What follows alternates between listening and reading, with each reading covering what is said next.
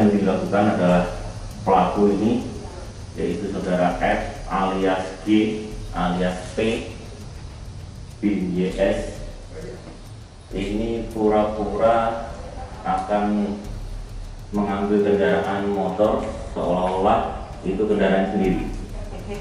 Tapi sewaktu dia memasukkan kunci ditegur oleh orang petugas yang ada di situ ditegur kalau itu bukan motornya dia. Dengan santai dia kemudian pergi meninggalkan tempat itu. Kemudian pemilik motor melapor bahwa motornya tadi sudah dilakukan percobaan pencurian oleh seseorang yang tidak dikenal. Kemudian kami berhasil mengamankan pelaku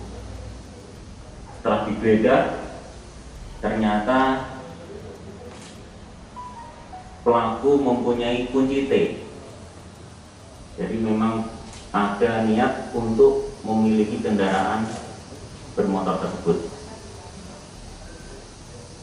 Ternyata juga setelah kita amankan pelaku ini kita sudah melakukan pemeriksaan ternyata pelaku ini juga warga binaan yang baru mendapatkan asimilasi dari rutan Madiun.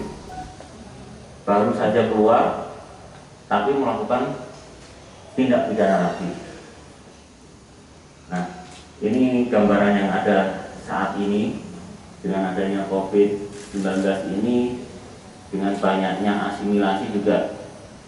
Kita untuk lebih waspada lagi karena harapan kita dengan proses asimilasi efek deteran bagi pelaku kejahatan tercapai tapi pada kenyataannya yang kita temukan pada saat ini adalah pelaku yang baru diasimilasi sudah melakukan tindak pidana lagi